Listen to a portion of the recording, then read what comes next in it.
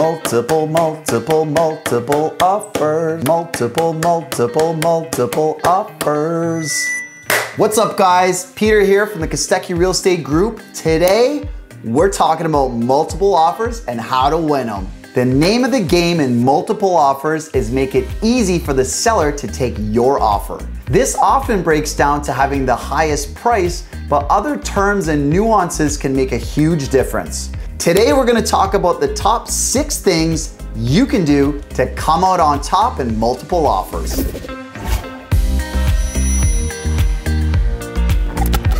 Welcome back to the channel, guys. My name is Peter Kostecki. I'm a top real estate broker here in Kitchener-Waterloo, and I put out weekly content including tips for sellers, buyers, and our fantastic listings here in Kitchener-Waterloo and Waterloo region. So smash that subscribe button and don't forget to turn the bell on so you don't miss another video. Number six, mortgage pre-approval and backup plan.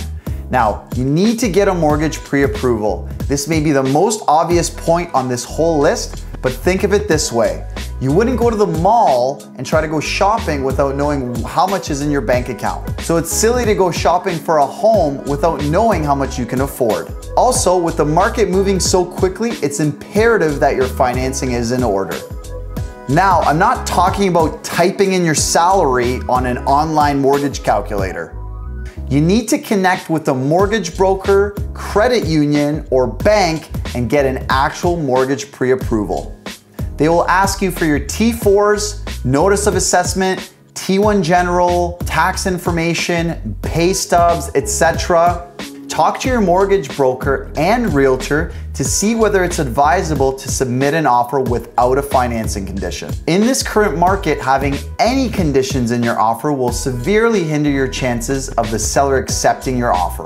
If you're going to waive or not include a financing condition, make sure that you have a backup plan. So let's say you're putting 5% down on a $500,000 home you'll be putting down $25,000 and the bank will issue a mortgage for the rest, so $475,000 mortgage. Now, what happens if the bank appraises the home and it only appraises at 480,000? That means the bank will only lend you 95% of 480,000, which means you're going to be $20,000 short. So you need to have a backup plan just in case. If this happens, where are you gonna get the $20,000 from? Parents, friends, investments? You need to figure this out. This does occur rarely, but is more common in a crazy market like today. So you need to lean on your agent to ensure you're paying a fair purchase price for the home you're trying to buy and that there are comparable sales that will support that purchase price, which will decrease the possibility of the home under appraising. Number five, understanding the comparables in the neighborhood. Guys, the list price is used as a marketing tool to attract as many buyers as we can to a listing. For example, townhomes in a particular neighborhood are selling anywhere from 650,000 to 725,000 depending on the condition of the home and depending on whether it's an end unit or an interior unit. A new listing hits the market at 550,000 and the seller and listing agent has decided to hold off reviewing any offers until they've been on the market for one week. Remember, the seller's listing agent has presented all of the sales in the neighborhood and the comparables or comps to the seller. They understand what the market value, what townhouses are selling for.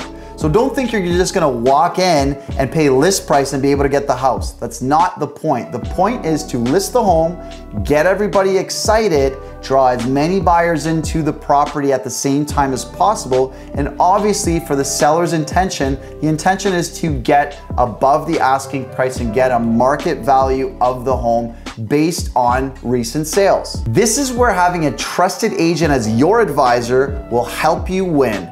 They will explain all of the recent sales in the neighborhood so you know where you'll need to be and you won't overpay.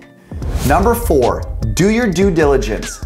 The current market places a lot of pressure on you, the buyer. Sellers are receiving 5, 10, 30 offers on their home. So the chances of them accepting a conditional offer are highly unlikely, to be honest. Many of my sellers are getting, you know, 15, 17 offers almost never do they accept a conditional offer. There's always someone, the goal is always to get a firm and binding offer without conditions. And you can't blame them. Wouldn't you do the same? This is where apprehension can come in on your end. What if the foundation has cracks or the roof has to be replaced, there's mold in the attic, or the furnace is on its last legs? You obviously don't wanna buy a lemon. That being said, if you insert a home inspection condition into your offer, it's gonna severely reduce your chances of the seller actually accepting your offer and moving forward with you. My advice is to assess each home individually.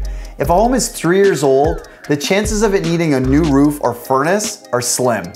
That being said, I've seen many problems with new homes too, so you have to be careful. On the other hand, if there's a century home, there could be many years of remodels, renovations, electrical updates, plumbing updates, hidden issues that you may or may not know about or even the previous owners don't know about. Work with a pro that can assess the probability of these issues occurring.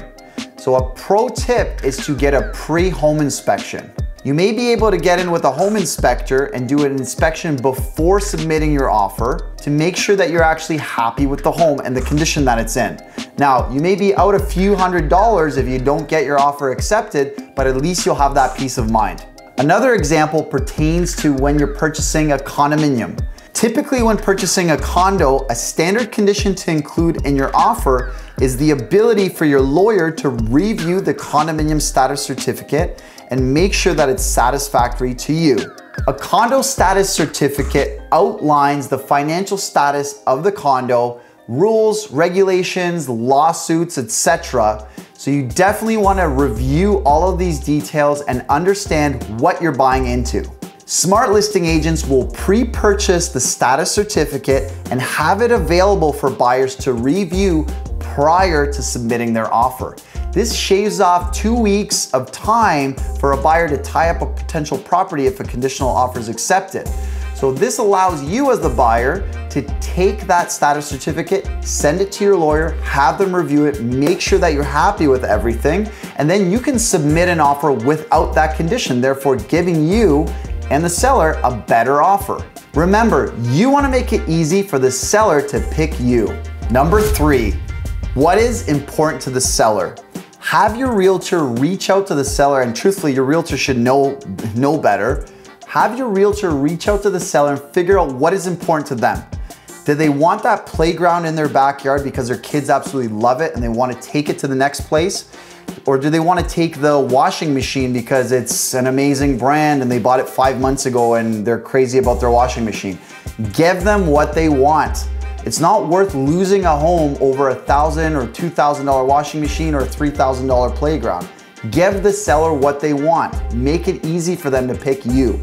Number two, figure out bridge financing. Bridge financing is a secret weapon that will give you peace of mind and also the seller peace of mind.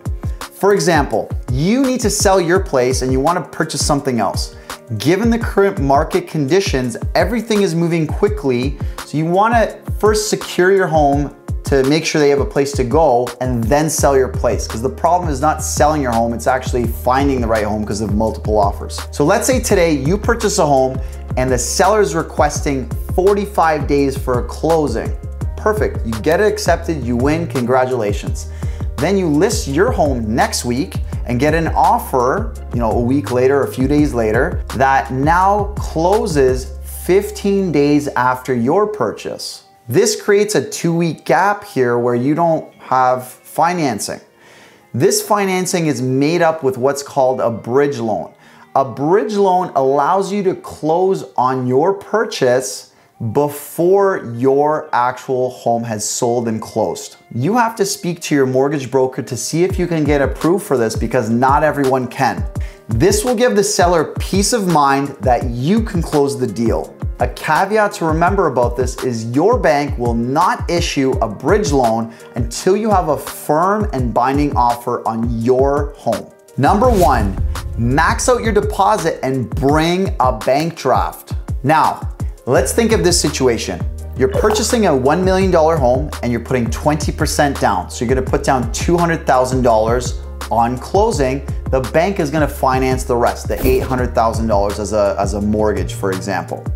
the seller and the listing agent of this particular home that you're purchasing are asking for $35,000 down as a deposit with your offer. That deposit gets held in a trust account at the listing brokerage and at closing gets applied to the purchase price. Now, let's say you have the ability to put down 75,000 or $100,000 down as a deposit, do it. If it comes down to it neck and neck, let's say you it's you and the other offer and you guys have the same price, you have no conditions. One offer has 35,000, the other offer has 100,000. Who is the seller going to feel more confident with to close the deal? 35k or 100k? Who has more skin in the game? obviously the 100,000. So if you can do simple things like this, do it. I've seen this be the difference between the seller choosing one offer over the other. Now, let's take this a step further. Go to the bank and get a bank draft for the $100,000 deposit made out to the listing brokerage and submit a photocopy of it with your offer. This will show the seller that you're not playing around and you're serious. You're here to buy their home.